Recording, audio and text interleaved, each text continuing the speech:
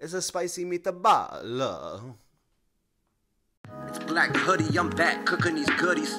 Look at these views from cooking these foods. Yeah.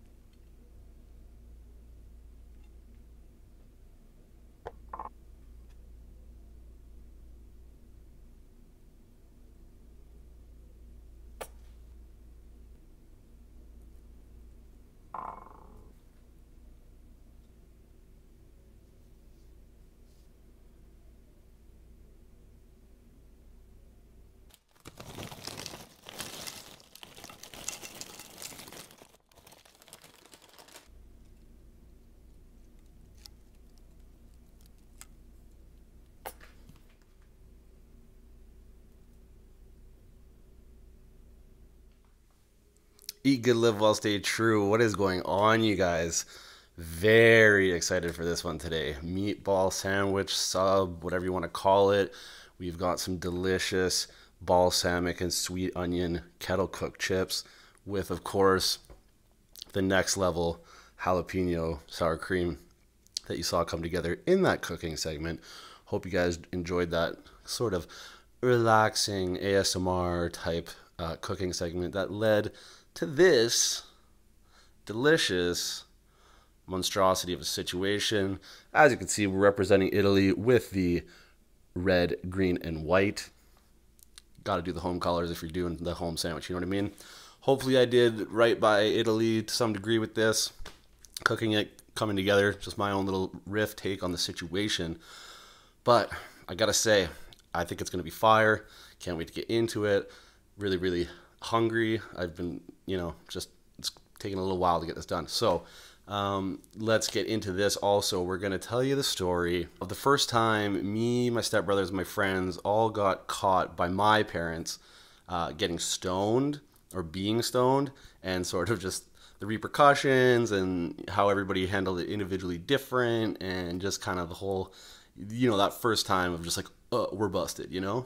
All right, so I think first things first, a bite, obviously. Up close, Percy. Got that nice Italian roll. Closes up perfectly. Let's get to getting this.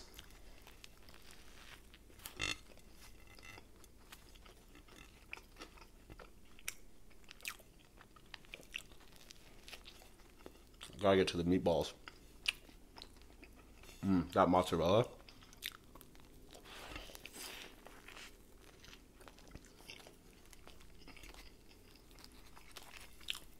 For those of you who are going to get at me about there being enough sauce, I don't like too, too much marinara. I like just so it's there, just enough. I don't want it drowning in it.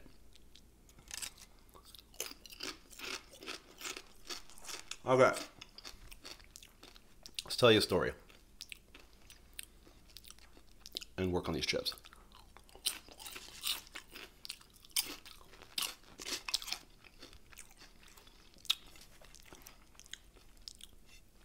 So me and my boys started smoking in grade nine. And by my boys, I mean me and my stepbrothers and my my couple best friends. But because me and my stepbrothers are all like we're either one year apart or the exact same age,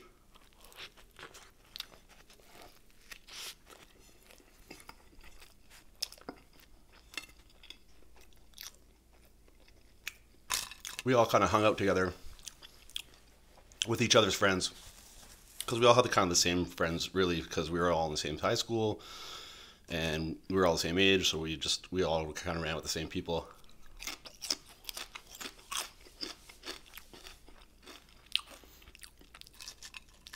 And so we had been smoking pretty consistently.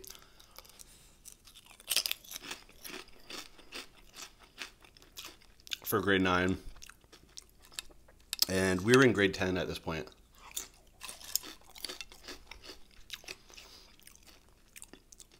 And so like our pretty much our ritual was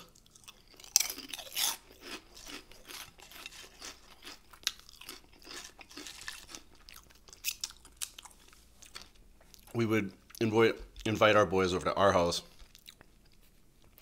on the weekends and we would like we had the basement to watch movies, play computer games, stuff like that.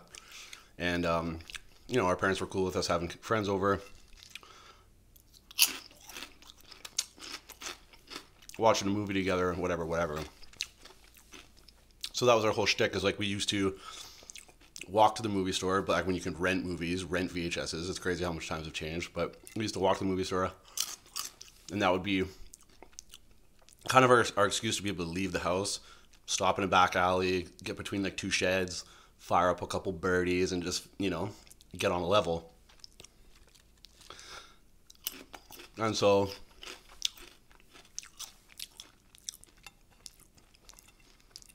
we have been doing that for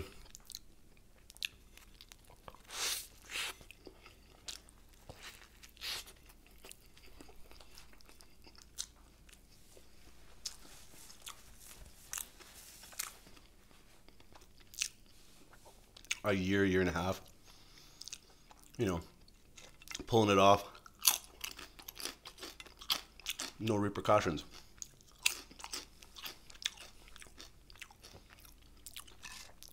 Somehow our parents just never caught on.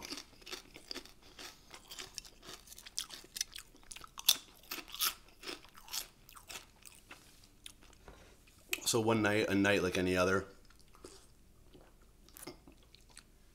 a Friday night like any other, we do our ritual, grab our like 20 piece bag at school. We're all excited. My my boys come over after school. We're waiting for nightfall to like go rent our movies, get our snacks, fire up, you know, and get on our level. I think I'm gonna take it to a to a sauce level. yes.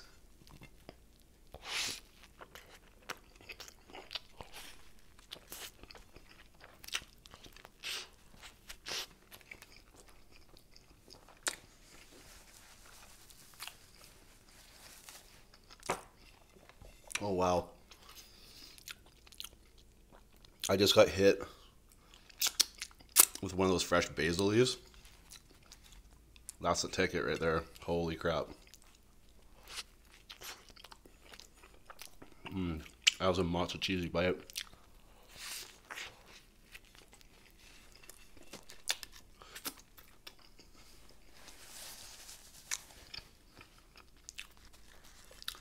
So anyways, we're in my basement. We like do our thing. We always like roll up. Very much ritualistic. Got our birds ready.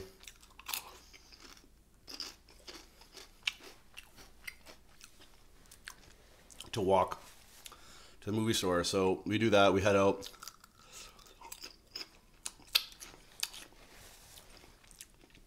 Go to the normal burn spot. Burn one up. Then go rent movies and get snacks because I always wanted to smoke a little bit first so that A, picking out a movie was hilarious, and B, by the time you got home, you're like settled into your stoned, and like, you know, maybe like some excess sense, all that stuff has kind of dissipated a little bit. Top stoner tip. So did that. Get back home, go down.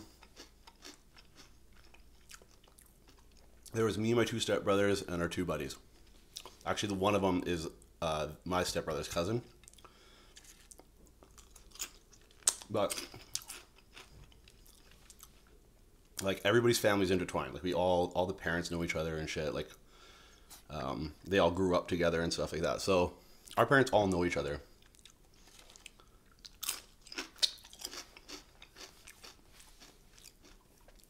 Anyways, turn the lights off. It's all dark. Put on the movies.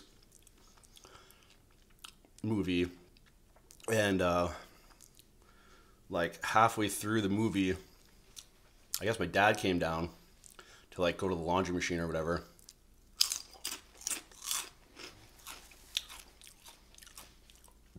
And I think he caught a whiff because my dad, you know, was a teenager once too, so he knows what's up.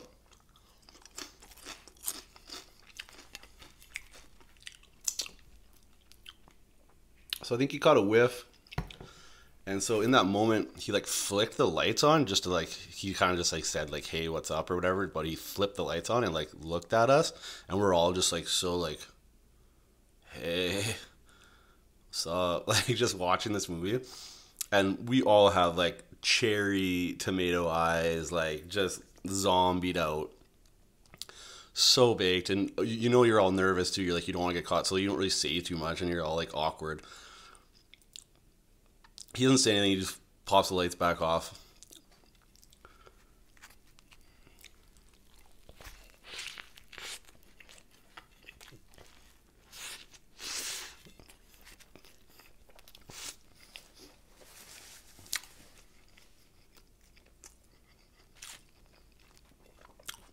goes upstairs.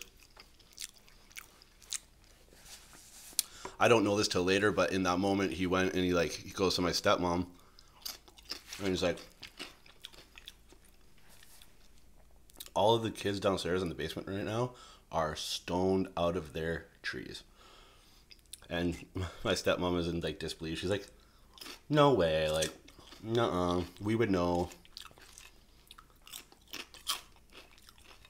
They're too young for that. Whatever, whatever." So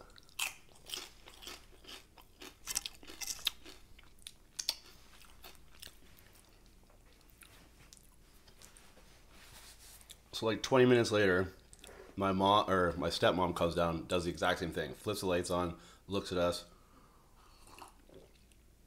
says hey or whatever. We're like, okay, that's a bit fishy, but didn't think too much of it. It's because we had gotten away with it so many times, and like, you know, when you have, you just feel confident, you get cocky and shit. So, anyways, they don't say anything. My dad would tell me later that she came upstairs and was like, "Oh my god, you're right. They are completely blasted. We have six blasted kids in our basement right now." So they're trying to figure out what, like, how they're gonna handle it, like, because you know, they're like, are we going to have to contact the parents of the other two? How are we individually going to parent this? Because my parents were like believers in, though we were like a blended family, my dad's like, I'll deal with my kids the way I deal with them, you deal with yours, and we'll keep it separate. So,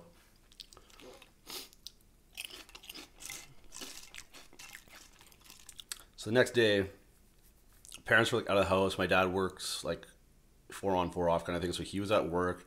Stepmom was out of the house, like doing whatever, shopping and whatever she does. And uh, my sister is like in the middle of the afternoon. She's like, "Yo, like, did you, you guys got super baked last night?" And I was like, "Yeah, for sure. Like that's what we do uh, every Friday or on the weekends." And she's like, "Yeah, uh, you guys are totally busted. Like, dad and and like our stepmom, like she they know, like they know that you guys were super baked, and I think they plan on like calling the parents and." you know, and um, and then in that moment, like you have your first like, oh crap, oh crap, oh crap, oh crap, oh crap, oh crap, like we're going caught smoking weed, like oh my god, my life is over, because like weed seemed, especially back then, weed was so like weed, right? Like it's not like it is now.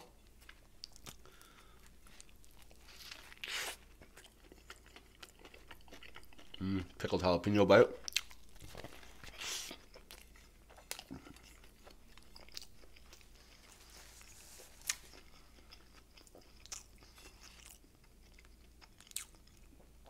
So my friends had slept over. I report back to everybody. I'm like, yo, we're busted. Like, what do you mean? What do you mean? Like, parents know that's why they checked on us the lights last night. Like, we are busted. They're planning on calling your parents, your parents, your parents, whatever. And um, so we're all just kind of freaking out. And my one friend's like, oh man, like, my parents came out find out, like, he's like, okay, I'm gonna call my sister, my older sister, and make sure she's at the phone, intercept the call, pretend to be my mom, because his older sister actually like we had gotten stoned with her a bunch too. She like introduced us to smoking weed a little bit, and uh, so my buddy hit his, his sister up. She's like, yeah, no problem. Obviously, she's like, I've never been busted by our parents. Like, I can't you know, this is gonna raise suspicion on me and shit too. So she's like, I'll intercept the call, pretend to be mom. She does that. Now the other dude was the cousin of my stepbrother, so like his parents were immediately contacted through everybody's like like my stepbrother's dad. That's their their uncle, like his brother. So everybody, all the parents like found out except for my one buddy. My stepmom called and was like asked for Mrs. Kelly, and the sister's like, "Yes, this is Mrs. Kelly." Oh my God, that's we'll we'll have to deal with this. I, this is unbelievable, you know, like the whole shtick. So my buddy got away with it for a while until uh, the parents of like the cousin, they were all at like a dinner party, and they were like talking like, "So how did you handle?" your son? They said his name but i'm not going to say it on here because i don't want to but they're like how did you handle and so and uh, so with the smoking weed incident? What like is he how did you reprimand? Like is he done smoking now? Like did you ed- educate him about like the harms of weed and drugs and shit and the parents were like what are you talking about so they had a whole rundown of what happened. So when so months later, when it all came out, like he got an extra shit because and his sister because like they posed and pretended to be that, and then they're finding out about smoking weed, all that stuff. The funniest thing on my end was like, like I said, because my stepbrothers parents decided that they would parent us differently, like like separately.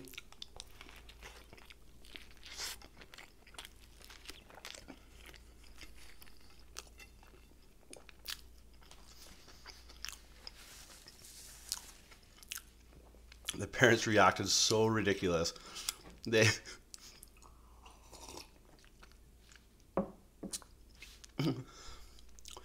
they made them go to like this like month long, like twice a week, like drug and addiction education and counseling. It's on my hand. Wow, this bottle is rubbing off on my hand. That's not good. Uh, yeah, so they made them go to this like drug education and counseling like program at this hospital.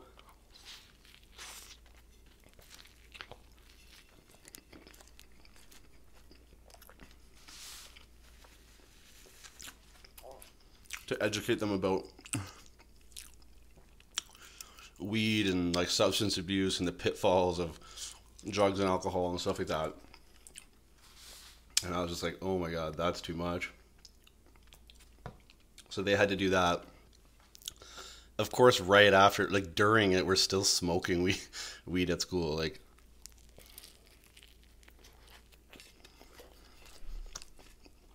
it didn't stop anybody from doing anything.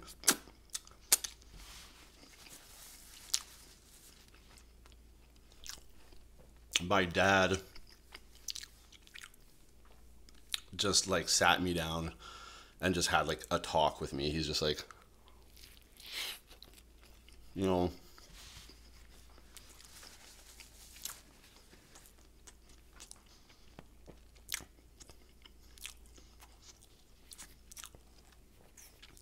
it's not smart to do that. You know, it's not the best choice. It'll just make you like lazy and stuff like that.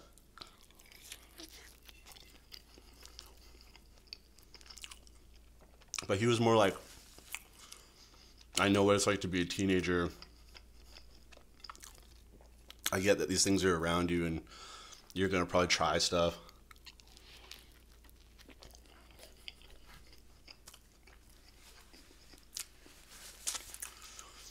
And he's like, I don't want it done in my house, around my house.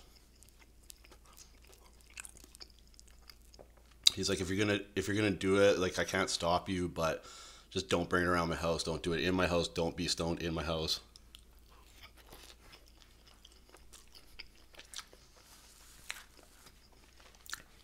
And this is me just warning you now. It's probably a good idea just to not do it because, like, you know, it could become problematic in your life. So my dad took a more level-headed approach in sort of just like talking to me about it.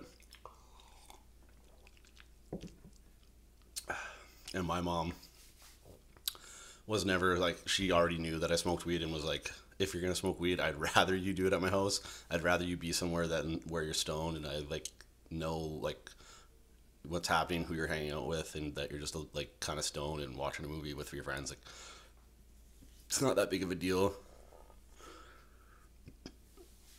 My mom's only thing was like, don't let it become like a daily habit and let it like take over your life. Which it was a daily habit for till I was pretty old. Definitely all the way through high school up until maybe like 19, 20.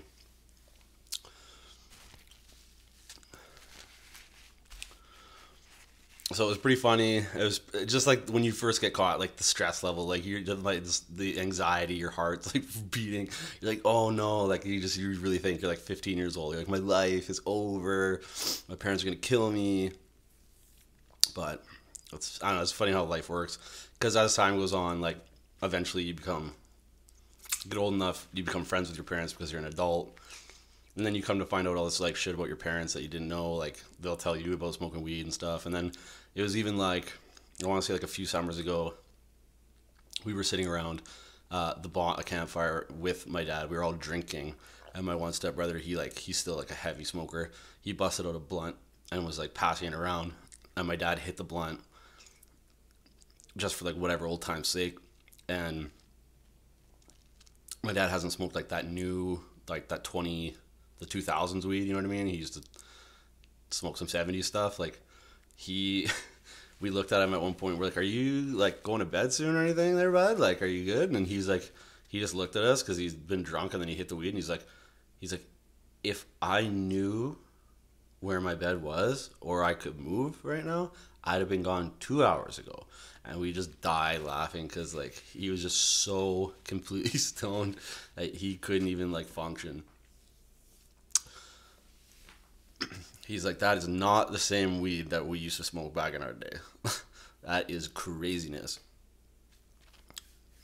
So, hope you guys enjoyed that story.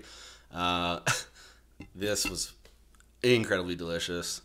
And yeah, I'm just like in awe in how good that was. Uh, until the next one, though, eat good, live well, stay true.